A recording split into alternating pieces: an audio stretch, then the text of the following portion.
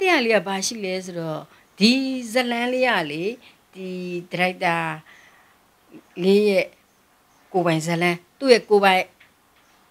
သူ့ဘဝရဲ့အတွေ့အကြုံလေးပေါ့။ तू ကဒီကွာအခုရန်ကုန်မှာလာပြီးတော့ तू ဒရိုက်တာဟာလားအနုပညာအလုပ်တွေလုပ်နေရခါကျတော့ तू ကနေဘက်ကလေနေဘက်ကဆိုသူ့အမေကို तू မတွေ့ရတာကြာပြီတီတီတဲ့။အဲ तू ရိုင်းနေပြောပြတီတီဒီဇက်လန်းเนี่ยတားရဲ့အဖြစ်ပြက်ကလေးကိုအခြေခံပြီးတော့ရေးထားတာတဲ့။အဲ့ဒါ ဟိုဗာလဲတားအမေကိုတားမတွေ့ရတာကြာပြီတဲ့။အဲကြောင့်မလို့ပေါ့အမေကိုရမ်းတဲ့စိတ်နဲ့ရေးထားတာပေါ့။အဲ तू အဲ့လိုမျိုးပြောတယ်။ပြောတဲ့ခါပြောတဲ့ခါကျတော့လေအေးကောင်းတယ်သားလို့အဲတာဟိုဘယ်လိုခေါ်မလဲဒီဇလန်လေးကလည်းရှေ့မှာလည်းတခုရှိသေးတယ်လေဟိုပါလဲအမေရဲ့ဖုန်းခေါ်တယ်တဲ့အနီနုပညာတွေကိုစရောက်တော့တတိတက်က24နှစ်ပဲရှိသေးတယ်အဲ23ပြည့်ပြီးကစအဲ့မွေးလာမှာပဲအဲ့ဒါဖြစ်တာ ဟိုပါလဲ MTV လေရိုက်တာတူတူရဲ့ကြပြအဲစပယ်ဦးတည်တဲ့နေရာထုတ်တာပေါ့အဲ့ဒီကနေစပြီးတော့မှတီတီကဒီလောကတွေကိုရောက်လာတာဟိုပေါ့စက်တိုက်ပဲတီတီရိုက်ရတာလေတူတူရဲ့ကြပြရိုက်ပြီးတော့ဟိုဦးထီဆိုင်းဒီဇိုင်းနဲ့ချင်းသေးလည်းပြန်အဲ့တချင်းလေးကိုလည်းတီတီပဲရတာအဲ့ဆိုအဲ့ဒီကနေရိုင်ရမှတီတီဗီဒီယိုလေးတွေရိုင်ရိုင်နေရတယ်ပြီးတော့မှခုချိန်ထိပေါ့တီတီမင်းသမီးဖြစ်တာကလေဟိုဗာလဲ ဘယ်လိုခေါ်မလဲပျော်ဖို့ကောင်းတယ်သိလားဟိုတီတီကလေဟိုနေအဲ့တော့ဟိုတွားလျှောက်တာလည်းမဟုတ်ဘူးတီတီကလေဟိုတီတို့ကကွာအိမ်မှာပဲအမြဲတမ်းနေနေရတာလေအတီတီရဲ့ဟိုဗာလဲခဲဦးကြီးပေါ့ခဲဦးရဲ့တငယ်ချင်းတွေကဒီ38လမ်းမှာလေဟိုဗာလဲ upper mini market ဆိုတာလေစပြီးတော့ဖွင့်တာတင်လားဟိုတုန်းကတော့ဒီ mini market တွေပါရရှားသေးတာပေါ့အသူတို့ဖွင့်တဲ့ခါကျတော့အာအဲ ခဲဦးရဥဆုံးညညီမတွေရှိတယ်မဟုတ်လားအဲလုံးလုံးမလားအဲစေးစေးမပေါ့ဆိုအဲ့နဲ့ဟိုဗာလဲခဲဦးရပြောတော့အမကလည်းအိမ်ထဲမှာအမြဲတမ်းနေနေရှင်အမေသမီးတွေဟိုမျက်စိပိတ်နားပိတ်နဲ့ပေါ့ဟိုကိုဘယ်လိုကမိတ်ဆွေရဲ့ဆိုင်ဆိုတော့လေတဲ့ဟိုစိတ်လက်ချရတယ်တဲ့အဲလုတ်ခိုင်းမလားအမေတဲ့ဆိုတော့အဲ့နဲ့ တီတီကလှုပ်လိုက်တာပေါ့လေအဲ Apple Mini Market မှာဆေးမလေးဆေးမလေးဆိုတီတီကမနေ့ကျတော့အဲ့လိုမျိုးပေါ့သွားတာသွားတော့တီတီတို့ကအဲ့လိုပါလေစုလေမတ်တိုင်လေအဲ့ဒီကနေပြီးတော့မှဆေးပြီးတော့မှအဲ့38လမ်းထိပ်ကိုလမ်းလျှောက်ရတာလေအဲ့တော့စပယ်ဦးသေးတဲ့တွင်က34လမ်းထိပ်မှာပဲရှိသေးတယ်အာရှိသေးတဲ့ခါကျတော့တီတီသွားတဲ့ခါကျတူတူနဲ့ကြက်ကော်ကြော်ကြော်လေးရှူတီမန်နေဂျာဦးရင်းနေရနေပြီးတော့မှတီတီကိုတွေ့သွားတာ တွေ့သွားတော့တီတီကတီတီလမ်းတီတီရှောက်တာပေါ့ကွယ်ဒီလားဟိုတော့ကတီတီကလေစပယ်ကအရှိကြီးပဲဒီခါလေကြော်တယ်နောက်ပြီးတော့စပင်ကအခုကအခြေကောက်လို့ပွားအပွားဒီဘရှစ်စပင်နဲ့နောက်စပင်နဲ့တစ်ဆက်သေးအဲ့တော့မှတီတီကစကတ်အကုန်လုံးပြောင်းသေးပြီးတော့တီတီကသဘောကျလာစကတ်ကိုသူတို့ဆွဲပြီးတော့မှအဲအဲ့လိုမျိုးဆိုအိမ်အဲ့ဒီကတီတီမှတ်မိတယ်ဟို suppose တီချက်ကလေးနက်ကလေးနဲ့အဲအောက်ကထမင်းပန်းရောင်လေးနဲ့ slim နဲလေးနဲ့ဆက်တီတီသွားတာ အသွားတော့သူတို့ကတွေ့သွားပြီးတော့မှတီတီနဲ့ကိုလိုက်လာတီတီမသိဘူးမသိဘဲနဲ့မှအဲ့သွားတော့မှအဲသူတို့သူတို့ပဲကြည်သွားတာပေါ့ညနေလောင်ကြာတော့မှအဲ့ဦးရနေပြီးတော့မှသူမိသားစုနဲ့လာတာနော်အမိမတွေကလေးနဲ့လာပြီးမှအဲရှောက်ကြည့်ကြည့်ပြီးတော့မှတီတီကောင်တာရှိမှလည်းတဲဟိုဟာတီတီကအဲ့တော့ဟိုပါတိတ်ကောင်တာအဲအဲ့ကောင်တာမှဟိုဟာလေးကြည့်တာကြည့်နေလာကြည့်ဟောပြီးတော့နောက်နေ့ကျတော့စပယ်ဦးဦးတန်းလင်းမိသားစုတွေကလည်းအဲ့လိုမျိုး အဲဦးဝင်းနဲ့ဒီလိုပဲလာကြည့်အဲသုံးလေးကောင်လာကြည့်ပြီးလည်းပြီးတော့တခါကိုတူတူနဲ့တခါလာကြည့်တိလားအဲ့လိုမျိုးပေါ့မိသားစုလိုက်တွေပဲလာကြည့်ပြီးတော့မှအဲ့ပြီးတော့မှအဲဟိုတတိကိုလာပြီးတော့မှဦးဝင်းရနေမှာတမီးတဲ့တမီးကိုတဲ့ဟိုတူတူဟာတဲ့ MTV ရိုက်ချင်လို့တဲ့ဟိုရိုက်မလားတဲ့ဆိုအဲအဲ့နဲ့ဟုတ်လားလို့ဟိုအိမ်ကိုမေးကြည့်လိုက်အောင်မယ်လို့တမီးလို့ဆိုအဲအိမ်ရောက်တော့အဲတတိယပြောပြတာပေါ့လေပြောပြတော့ ဟိုဗာလဲအဲမမေကတော့တိတ်ပြီးသဘောမကျဘူးဒါပေမဲ့ဖေဖေကပြောတယ်ကိုကသွားရှောက်ရတာလည်းမဟုတ်ဘူး तू ကလာခေါ်တာဟိုလောက်ပါစေကွာတဲ့ဆိုတော့အဲ့လိုမျိုးပြောလိုက်တာနဲ့အဲ့နဲ့တီတီကရိုက်ဖြစ်တာရိုက်ဖြစ်သွားတော့အဲ့တူတူရဲ့ကြပြမှာအလင်္ကာမြုံဝင်ဆိုတဲ့တချင်းလေးနဲ့တီတီက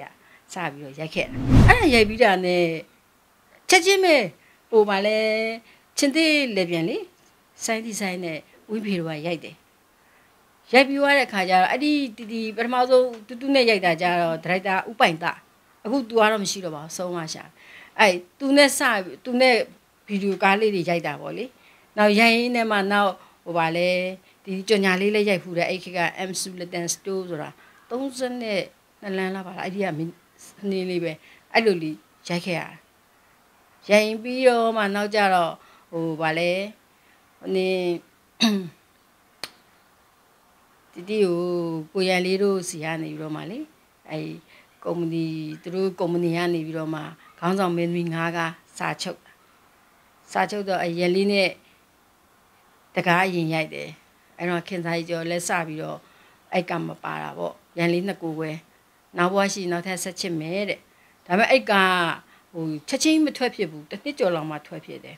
အမကျန်တဲ့လေးကောက်ကြတော့အဲ့ချိန်မှာဥမောနဲ့တီတီကိုရိုက်လိုက်တာသူတို့က ရိုက်လိုက်တဲ့ခါကျတီတီကတအားပေါက်သွားပေါက်သွားအဲ့ဒီကနေဇက်တိုက်ကဟိုရိုက်ရတာပေါ့လေအများကြီးပဲအမတ်တရားလေးကဘာရှိလဲဆိုတော့ဒီဇလန်းလေးကလေ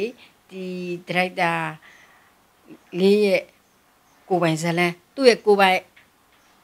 သူ့ဘဝရဲ့အတွေ့အကြုံလေးပေါ့။ तू ကဒီကွာအခုရန်ကုန်မှာလာပြီးတော့ तू ဒါရိုက်တာဟာလားအနုပညာအလုပ်တွေလုပ်နေရတဲ့ခါကျတော့ तू ကနေဘက်ကလေနေဘက်ကဆိုသူ့မေကို तू မတွေ့ရတာကြာပြီတီတီတဲ့။ အဲ तू ရိုင်းနေပြောပြတီတီဒီဇက်လန်เนี่ยတားရဲ့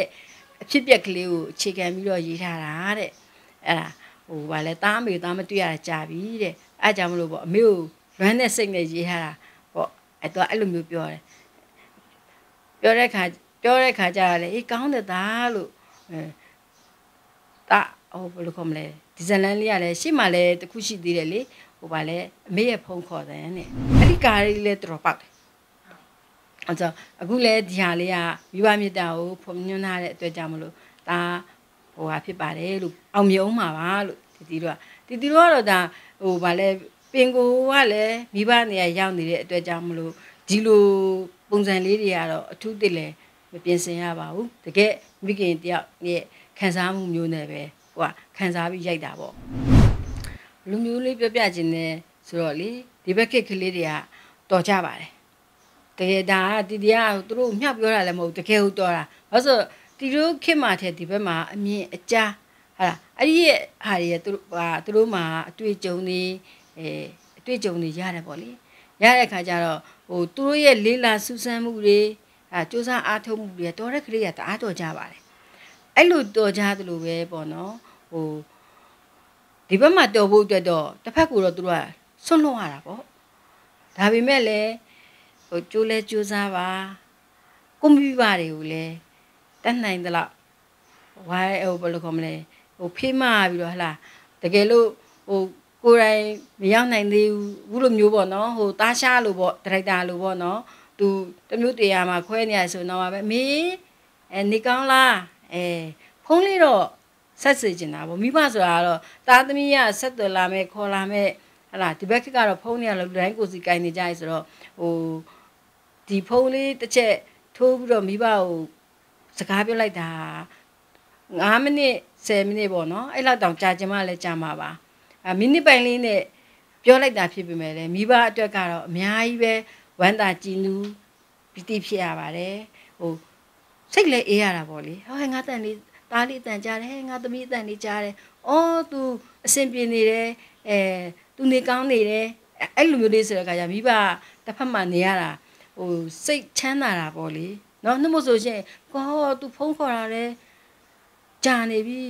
ဘာများဖြစ်နေလဲနေမကောင်းရဲ့လားမိဘဆိုတော့ကတော့ဟိုသားသမီးကအသက်ကြီးသည်ငယ်သည်မဟုတ်ပါဘူးဘယ်လိုအရွယ်ပဲရောက်ရောက်မိဘကတော့စိတ်ပူတာပါပဲအဲအကြောင်းမလို့အလုပ်တွေကိုလည်းစူးစမ်းကြပါကိုယ့်ရဲ့မိဘတွေကိုလည်းအနီးနားမှာရှိရင်လည်းအဲဟိုမိဘတွေကိုလည်းဂီယူဆိုင်ကျင်နာပေးပါ ဝေးမှရှိနေမယ်ဆိုလို့ရှိရင်လည်းတက်နိုင်မယ်ဆိုရင်တော့ဖုန်းလေးတော့ဆက်ကြပါလို့ဒီတရားပြောချင်ပါတယ်